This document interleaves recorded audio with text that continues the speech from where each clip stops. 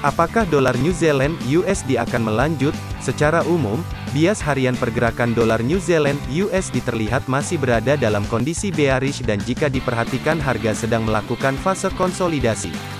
Jika pergerakan dolar New Zealand (USD) tertahan di sekitar area kritis pada kisaran 0,71695 sampai 0,71881 maka tunggu kemunculan bentuk pola candlestick bearish yang valid dengan memperhatikan juga indikator ADX bergerak ke bawah maka ada potensi harga akan menyentuh area 0.70905. Sebaliknya waspadai jika harga dolar New Zealand (USD) terus bergerak ke atas dan menembus level 0.71881 maka ada potensi harga akan berbalik arah dengan bergerak bullish ke atas menuju level berikutnya pada kisaran 0.72182. Sekian analisa forex untuk tanggal 22 Oktober tahun 2021.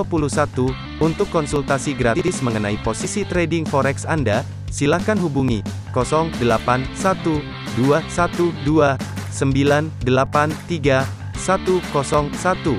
Sekali lagi, 081212 983 101. Kami dengan senang hati berbincang dengan Anda.